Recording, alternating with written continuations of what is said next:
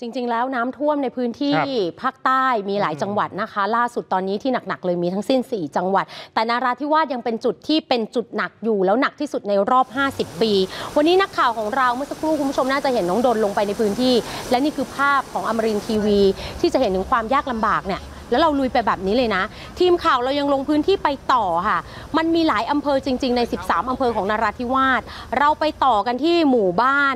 ยังยะกังค่ะ ซึ่งตรงนี้น้ำมันเอ่อล้นมาจากแม่น้ำบางนารา ไหลเข้ามาท่วมสูง 2 เมตรเลยนะ ระดับน้ำสูงเกือบถึงหลังคาบ้านอะ ดูสิโอ้ยแล้วไม่มีไฟฟ้าใช้ข้าวของเนี่ยชาวบ้านต้องอพยพออกนอกพื้นที่ รวมไปถึงค่ะวันนี้ สมาชิกอบจของนราธิวาสคุณอาเรสนะคะ เปิดเผยกับทีมข่าวว่าชาวบ้านยักษ์กังเนี่ยในพื้นที่ของตำบลบางนาคจังหวัดนราธิวาสตอนนี้ 200 หลังคาเรือน สัก 1,500 คนได้รับผลกระทบหนักมากน้ำสูง 2 เมตรอะอืมร้อยเปอร์เซ็นต์ของพื้นที่ครับอยากคิดกันเป็นเปอร์เซ็นต์คือร้อยเปอร์เซ็นต์เลย แล้วชาวบ้านตอนเนี้ยไม่สามารถที่จะอพยพได้ เพราะน้ำมันท่วมสูง เบื้องต้นต้องจัดตั้งศูนย์พักพิง ให้อยู่ที่โรงเรียนเทศบาลหนึ่งที่ แล้วก็โรงเรียนเทศบาลสองแล้วก็ทำเป็นครัวชั่วคราวทำอาหารกล่องไปแจก ใครที่อยู่ในพื้นที่ เราก็ต้องเอาข้าวไปให้เขา ใครออกมาได้ เราก็พามาอยู่ศูนย์พักพิง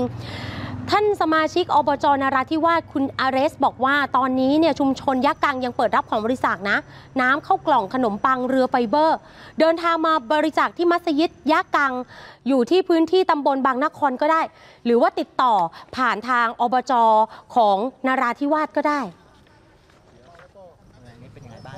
ก็ขนาดตอนนี้นะน้ำเริ่มลดลงแล้วครับครับจากที่เมื่อคืนนี้ ลงประมาณ 50 เซนนะครับ ก็ครึ่งครึ่งเมตรนะครับครับ ในพื้นที่ที่สูงที่สุดประมาณ สูงที่สุดประมาณเมตรกว่าๆนะเกือบ 2 เมตรอะนะเมตรเมตรประมาณเมตรห้านะสูงที่สุดครับส่วนมากเนี้เริ่มเริ่มแรกก่อนที่จะขอเอ่อขอความช่วยเหลือเรื่องอาอาหารนะครับก็เรื่องเลือกเป็นส่วนใหญ่ก่อน เพราะว่าเขาจะขนย้าย อาของอะไรมันลำบากนะครับ แต่นี่ก็ก็จำเป็นบางคนบางก็ส่วนมากนะก็ก็เดิน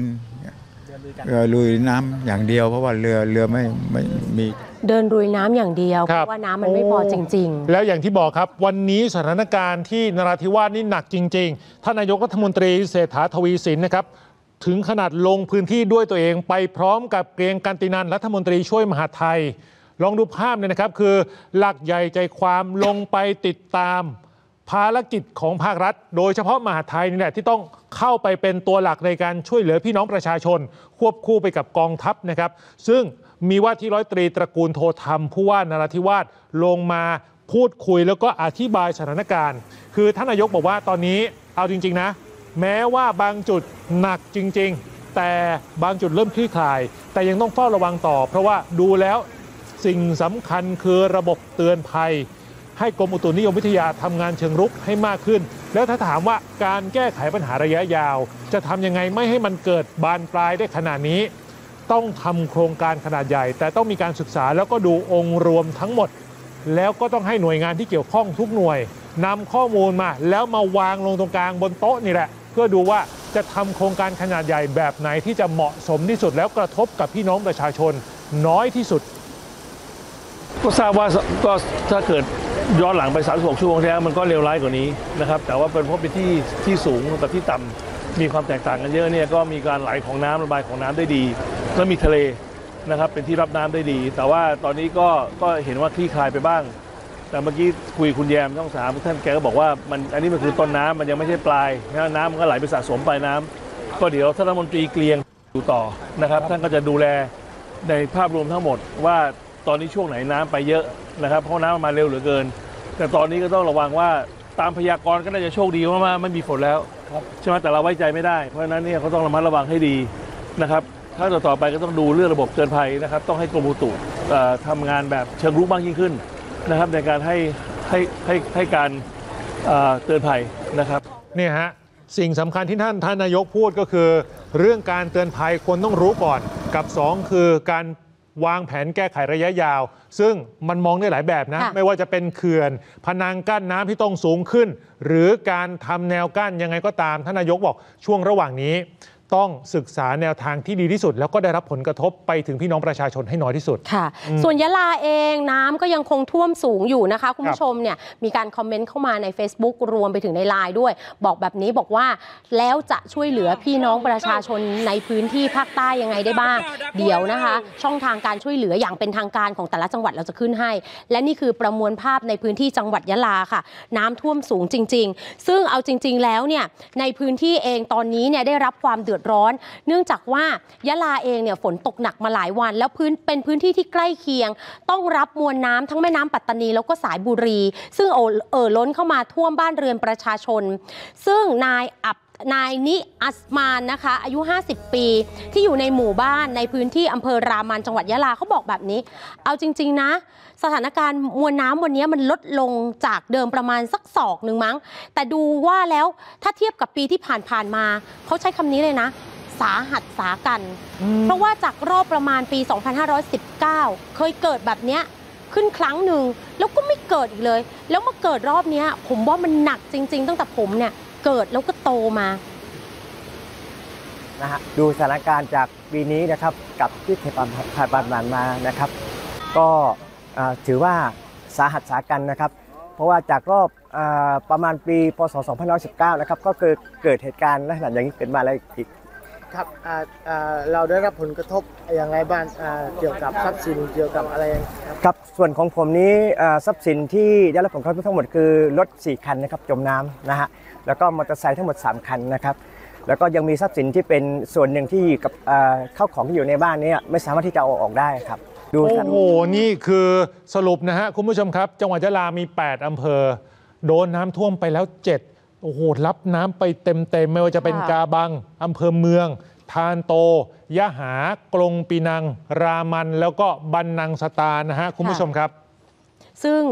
เป็นเหล่านี้นะคะอ๋อเป็นพื้นที่ที่ตอนนี้เนี่ยมีแค่น้ำครับดื่มในการประทังชีวิตอ๋อจริงขณะเดียวกันคุณผู้ชมครับ อยากพาไปดูที่จังหวัดปัตตานีนะฮะปัตตานีก็เป็นอีกพื้นที่หนึ่งที่ได้รับความเดือดร้อน แล้วก็สาหัสสาคัญไม่แพ้กัน เนื่องจากว่าลองดูภาพบรรยากาศนี่คือปัตตานี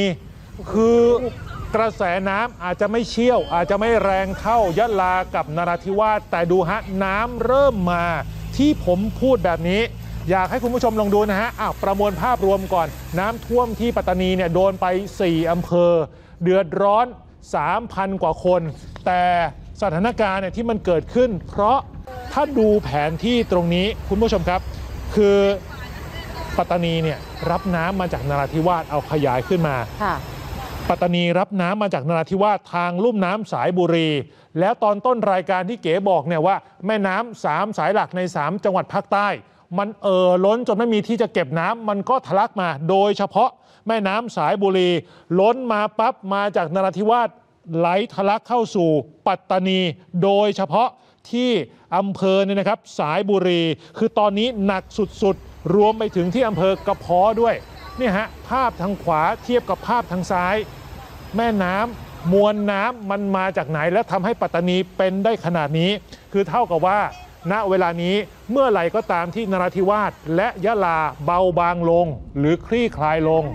น้ำทั้งหมดจะมาสู่ปัตตานีก่อนไหลออกอ่าวไทยค่ะโอ้โห เป็นอีกวิกฤตหนึ่งนะฮะ ที่ปัตตานีกำลังเผชิญอยู่ พาคุณผู้ชมไปสำรวจกันในพื้นที่จังหวัดสตูลบ้างคุณผู้ชม สตูลเองเนี่ยน้ำท่วมนะคะ ขยายวงกว้าง ตอนนี้ชาวบ้านเนี่ยในพื้นที่สตูลเอง เขาต้องเตรียมขนของย้ายขึ้นสู่ที่สูง เพราะน้ำเนี่ยมันขยายไปยังพื้นที่ในตัวเมือง เทศบาลตำบลฉลุง แล้วก็ตลาดสดเทศบาลตำบลฉลุง ในอำเภอเมืองสตูลแล้ว ซึ่งตรงนี้เนี่ยเป็นพื้นที่ชุมชนย่านเศรษฐกิจ น้ำบางส่วนเนี่ยมันไหลล้นตลิ่งเข้าท่วมบ้านของพี่น้องประชาชนได้รับผลกระทบ แล้วเอาจริง ๆ ผู้ว่าราชการจังหวัดสตูลท่านบอกแบบนี้ คุณศักระนะคะ บอกว่าตอนนี้สั่งการให้ทุกฝ่ายโดยเฉพาะนายอำเภอ 7 อำเภอ เร่งให้เจ้าหน้าที่ประจำหมู่บ้านตำบล ลงไปสำรวจความเดือดร้อน และให้เปิดศูนย์ปอพที่สามารถเข้ามาในการให้ขอความช่วยเหลือได้ตลอด 24 ชั่วโมง อันนี้คือฝั่งของสตูล อืมอ้าวคุณผู้ชมครับ ทางฝั่งสตูลเนี่ยนะฮะตอนนี้สถานการณ์เนี่ยกำลังได้รับผลกระทบ แต่ถามว่าที่พี่น้องประชาชนคนดูทางบ้าน อยากจะให้กำลังใจ อยากจะส่งความช่วยเหลือไป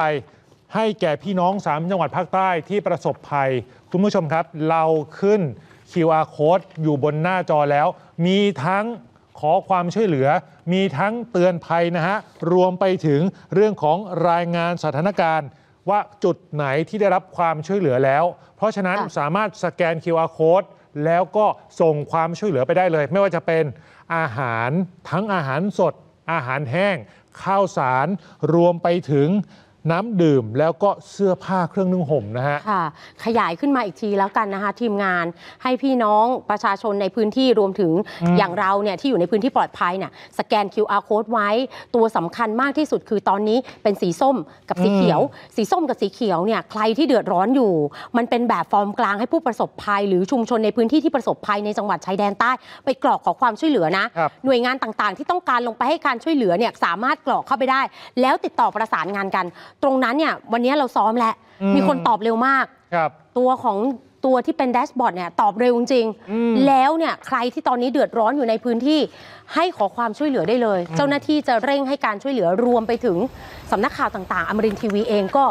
เปิดพื้นที่ให้คุณผู้ชมสามารถขอความช่วยเหลือเข้ามาได้ครับถ้าเราประสานไปยังทีมงานไหนได้ เราก็จะช่วยอย่างเต็มที่ ส่งกำลังใจให้กับพี่น้องในจังหวัดชายแดนภาคใต้ แล้วก็จังหวัดอื่นๆ ที่ตอนนี้ประสบปัญหาน้ำท่วมอยู่นะคะ